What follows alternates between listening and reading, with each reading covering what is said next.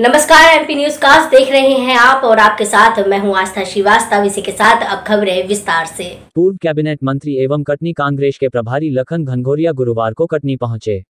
Madhav Nagar circuit house में कांग्रेस सदस्यता अभियान की समीक्षा और सक्रियता लाने के लिए कार्यकर्ताओं से चर्चा की।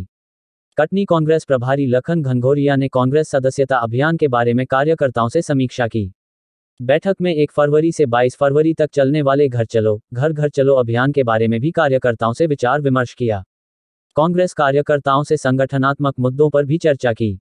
पूर्व कैबिनेट मंत्री लखन घनघोरिया ने मीडिया से चर्चा करते हुए कहा कि भाजपा के शासन में कटनी का अपेक्षा के अनुरूप विकास नहीं हुआ। महँगाई को मुद्दा बताते हुए उन्होंने कहा कि कांग्रेस जनता से जुड़े हर मुद्दे को लेकर घर घर जाएगी। बैठक में जिला कांग्रेस अध्यक्ष मिथिलेश जैन, गुमान सिंह, बड़वारा विधायक बसंत सिंह श्याम शर्मा, हरिशंकर शुक्ला, राजकिशोर यादव, पद्मा शुक्ला, विक्रम खपनरिया, राजा जगवानी, मनु दीक्षित, अंशु मिश्रा सहित बड़ी संख्या में कांग्रेस कार्यकर्ता मौजूद रहे।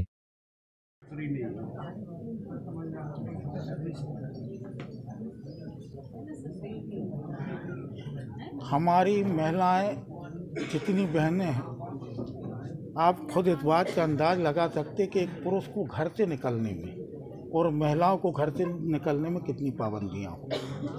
खुद समझ सकते जो सत्ता में है वो कितना निकल रहे हमारे कांग्रेस में जितनी हमारी महिला कांग्रेस की बहनें हैं बहुत सक्रियता से बहुत सजगता से कांग्रेस के लिए लगी। कम से कम ये विकी तो नहीं।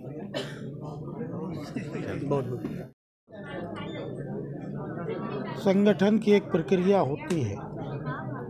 कांग्रेस का सदस्यता अभियान, गाँव चलो, घर चलो।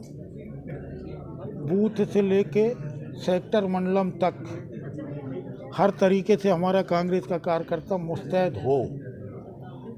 इसके लिए प्रदेश कांग्रेस कमेटी अध्यक्ष माननीय कमलनाथ जी का एक व्यापक कार्यक्रम है, जिसके तहत सदस्यता अभियान की समीक्षा के साथ साथ और इसमें तीव्रता कैसे आए, इसको लेके ये बैठक है। और मैं समझता हूँ कि कांग्रेस का हर कार्यकर्ता बड़ी शिद्दत के साथ इस काम में जुटेगा। हाल ही में हाल ही में प्रदेश सरकार ने 2000 करोड़ का कर्ज लिया है। क्या शहर का विकास प्रदेश का विकास हो रहा है? शिवराज सिंह जी की अभी की दो साल की सरकार और इसके पहले पंद्रह साल की सरकार में कितना विकास हुआ ये हमसे बेहतर कटनी का आप जानते हो कितना विकास हुआ? विकासवादी सोच कितनी है और बाकी दीगर मामले में भ्रष्टाचार की सोच कितनी है, ये भी आप बेहतर जानते हैं। कटनी को जिस हिसाब से माइलेज मिलना चाहिए था, क्या इस सरकार ने दिया? हम तो ये कहेंगे कि महाकोशल की उपेक्षा की है, कटनी का आपके लग गया।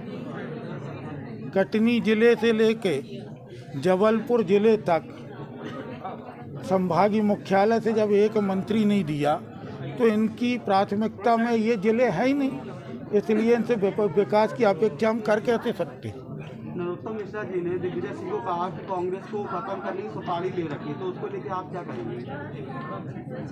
यूपी का चुनाव बता देगा कि ख़त्म कौन हो रहा है। नरोत्तम मिश्रा जी को कम से कम मर्यादाओं को समझना चाहिए। दिग्विजय सिंह जी दो बार के मुख्यमंत्री हैं। प्रदेश कांग्रेस कमेटी के अध्यक्ष रहे। समय सबका आता है। अपने कद को पहचान के लोगों को बात करना चाहिए। और सर एक और कोरोना गाइडलाइन में सर मास्क नहीं लगा रहे बहुत से कार्यकर्ता उसमें क्या कहना है आपको? सरकार की संजीदगी कोरोना गाइडलाइन में कैसी रही ये आपसे छुपा नहीं है। चुनाव जब आते हैं तो उन जिलों में करोना नहीं रहता है, उन प्रदेशों में करोना नहीं रहता है। सारी चीज़ों की छूट होती है। दूसरा, व्यक्ति स्वयं बचे। सरकार नाम की चीज़ नहीं। फ़र्स्ट वेरिएंट से लेकर सेकंड वेरिएंट तक। सरकार कहाँ थी जब लोगों को ऑक्सीजन की ज़रूरत थी? ऑक्सीजन नहीं मिली। जब लोगों को अस्पतालों में बेड की ज़रूरत थी, बेड नहीं मिले। जब इंजेक्शन की ज़रूरत थी, इंजेक्शन नहीं मिली। और तो और वैक्सीन विदेश भेज दी गई थी। जब पीक उतर गया तो अपनी पीठ थपथपा रहे। धन्यवाद मोदी जी मोदी जी फ्री वैक्सीन के लिए। किसी के घर की, किसी के पिताजी की जागीर नहीं है देश का पैसा। ये जनता का है? जनता के लिए जा रहा था। अपनी पीठ थपथपाने की ज़रूरत क्या थी? डेंगू से लड़ नहीं पा रहे। तीसरे वेरिएंट से लड़ने की बात कर रहे। जो बच्चे अपने एहतियात पे बच्चे हैं अपनी अपनी सुरक्षा लोगों ने खुद की है और हमारा भी ये आह्वान है कि अपनी सुरक्षा खुद करें। सरकार नाम की कोई चीज़ नहीं है। सरकार के भरोसे पे ना रहें।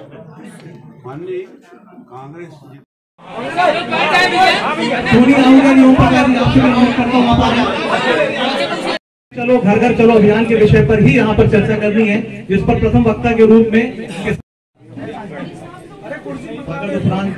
पत्रकार महोदयों के बीच चर्चा हो गई है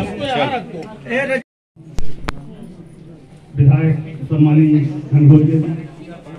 हमारे बड़वाना विधायक नेता लोकसभा प्रत्याशी रही हमारी।